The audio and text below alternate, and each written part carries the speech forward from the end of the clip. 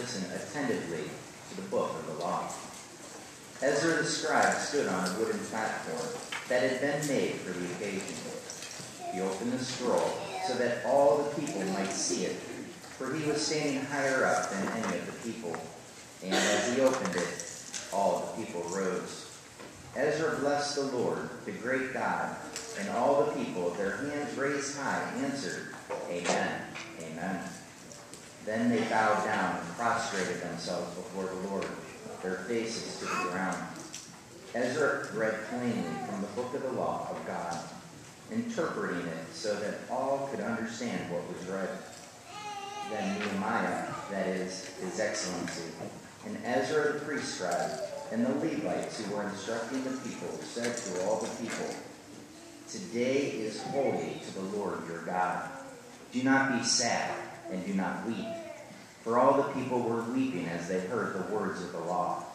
He said further, Go, eat rich foods and drink sweet drinks, and allot portions to those who had nothing prepared.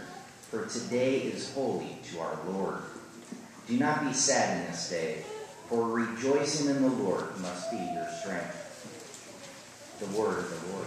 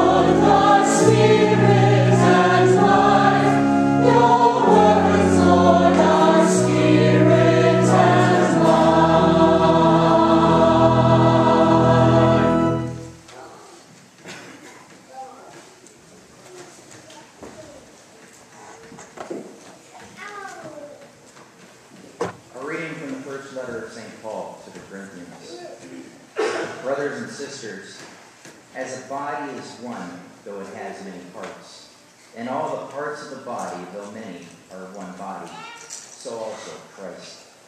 For in one spirit we are all baptized into one body, whether Jews or Greeks, slaves or free persons, and we were all given to drink of one spirit. Now the body is not a single part, but many. You are Christ's body, and individually parts of it. The word of the Lord.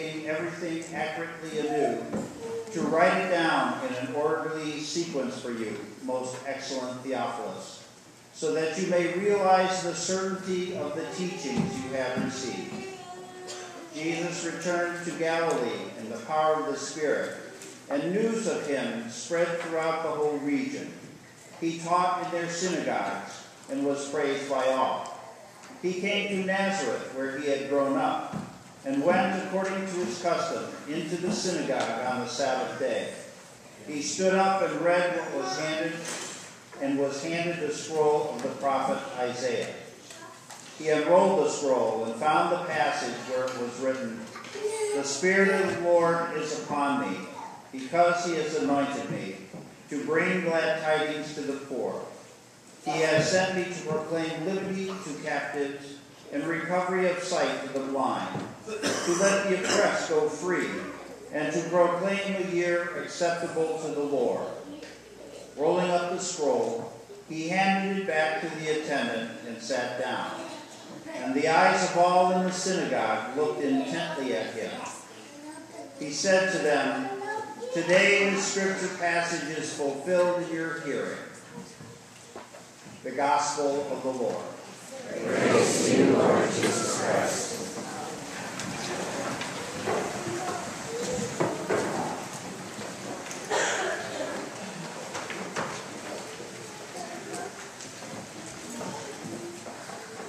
couple of updates before I get into the heart of my homily.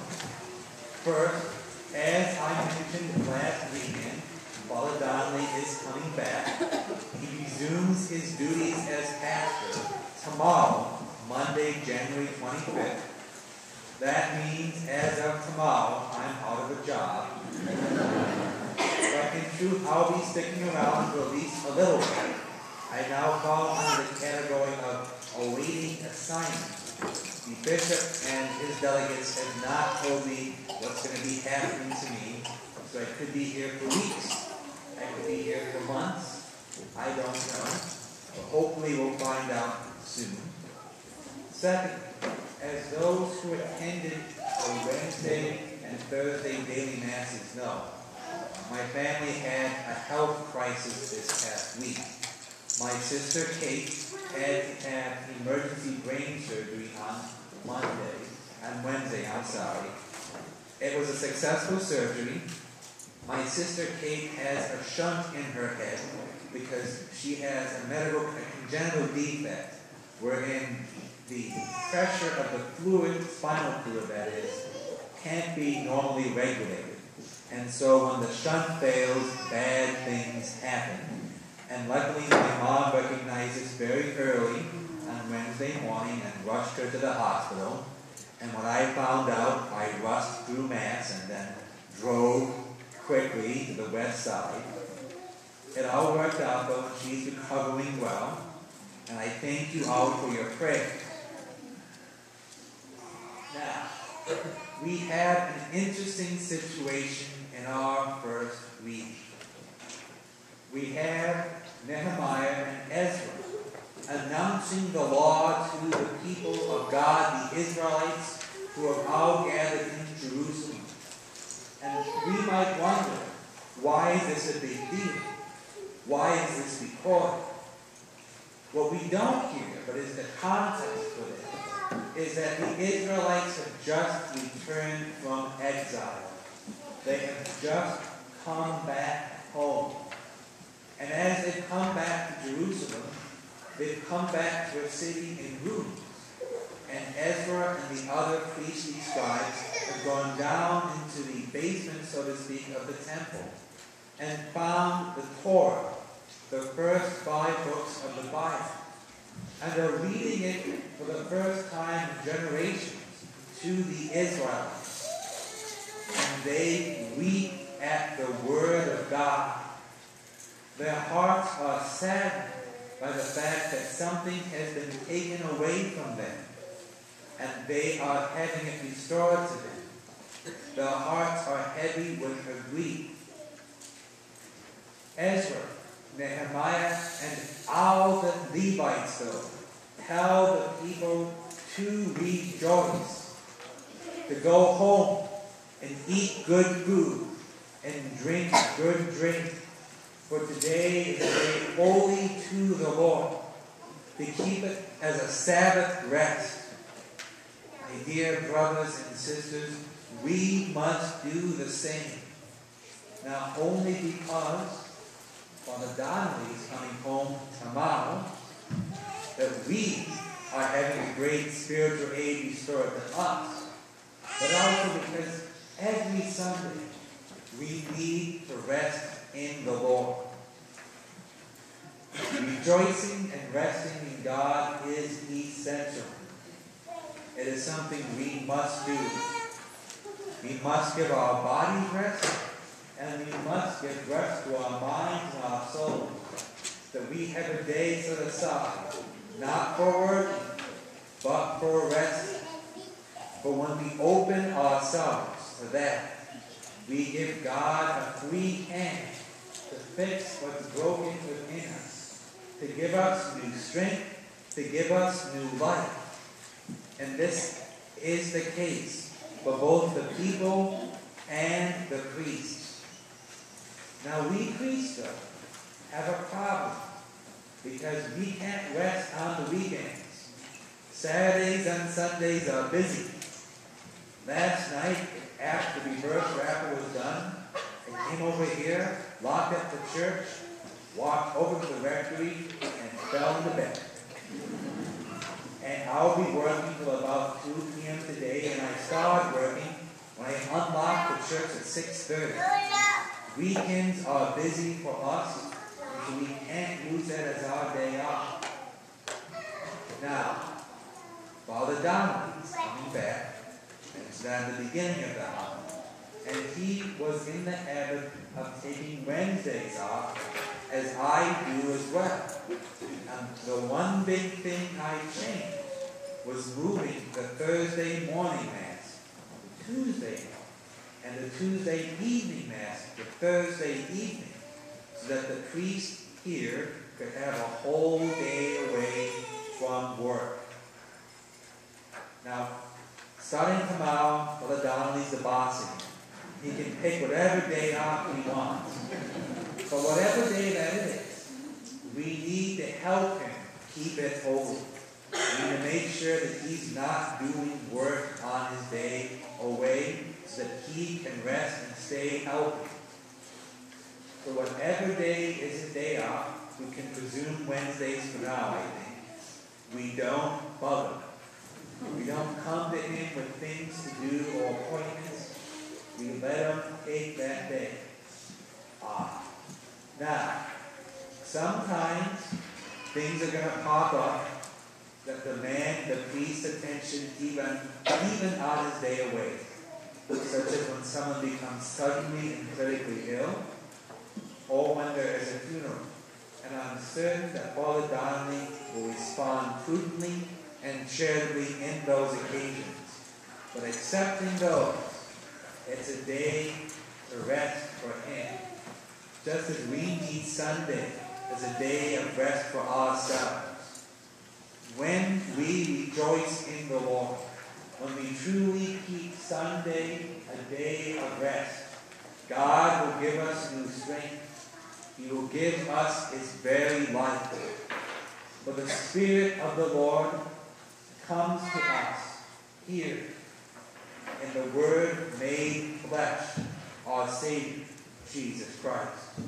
When we receive the bounty of the hour Holy Communion, we give our Lord our hearts. May we learn to rest our hearts, our minds, our bodies, our souls on our Sabbath, on our Sunday, that we might grow strong in God and announce the good news of His kingdom to all the earth.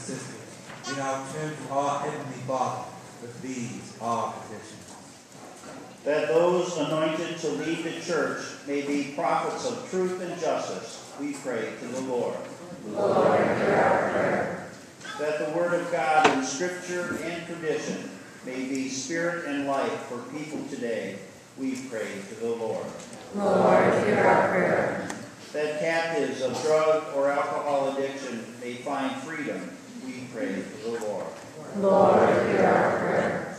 that as many parts of one body, we may work for the poor and the marginalized in our community, we pray to the Lord. Lord, hear our prayer. For our confirmation students, that the Holy Spirit help them to recognize the perishable things of this world and aspire only to eternity in His presence, we pray to the Lord. Lord, hear our prayer. And for those who are ill, especially Kate Snyder, Rose Hutchinson, Leo Werfel, Chuck Dents, Jay Kokish, Dan Masick, Bill Ashley, Helen Warren, Ron Gabriel, Napoleon Hidalgo, Judy Reese, and Jean Kwong. We pray to the Lord. Lord, hear our prayer. For those who have died, especially for Peter Adams, we pray to the Lord. Lord, hear our prayer. Father, hear the prayers of your church, one body filled with one spirit, one people called by your beloved Son, who lives and reigns forever and ever. Amen. The second collection today will be for the Latin American mission. Please open your missalettes to song number 248.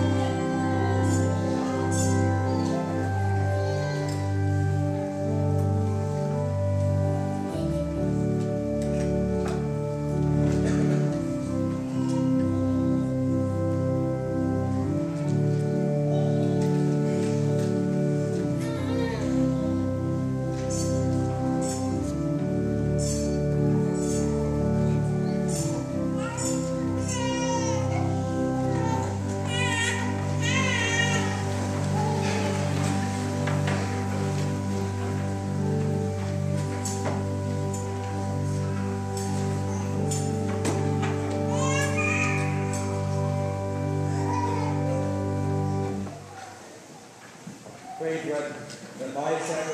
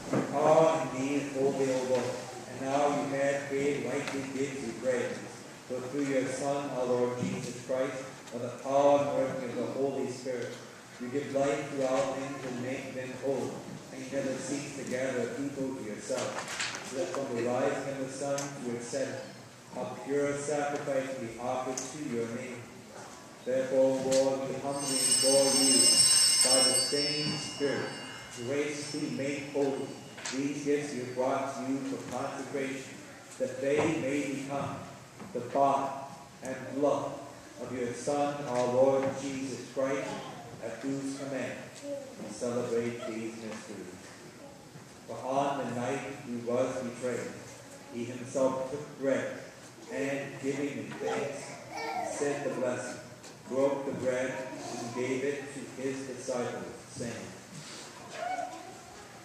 Take this, all of you, and eat of it, for this is my body, which will be given up for you.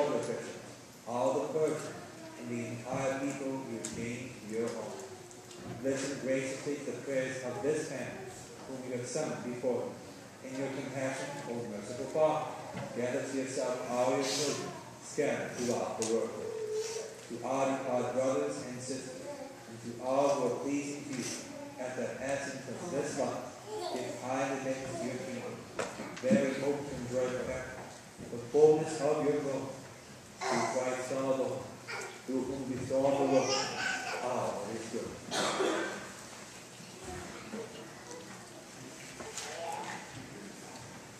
You can have your friends, have your.